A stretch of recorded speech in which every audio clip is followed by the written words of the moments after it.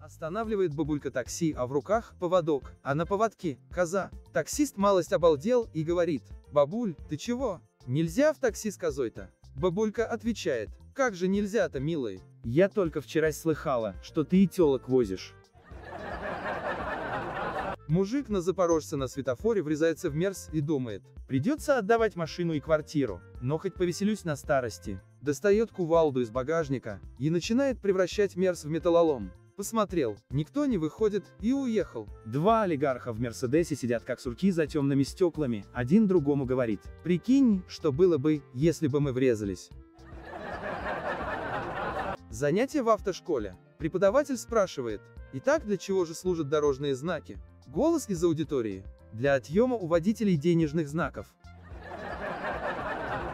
Мужик пытается купить билет и спрашивает у кассира, подскажите, какие сейчас правила провоза велосипеда в электричке? В ответ слышит, Я думаю, такие же, что и раньше, если смог влезть, то едешь, если нет, то ждешь следующую.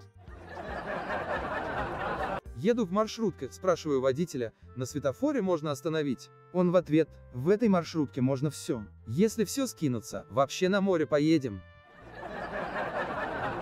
Идет мужик с деревни по городу через дорогу, вдруг визг тормозов, открывается окно машины, а оттуда доносится голос, для вас, козлов, переходы построили. Машина уехала, а мужик стоит в недоумении и думает, Вот эта культура в городе, обращаются на вы, да еще и по фамилии.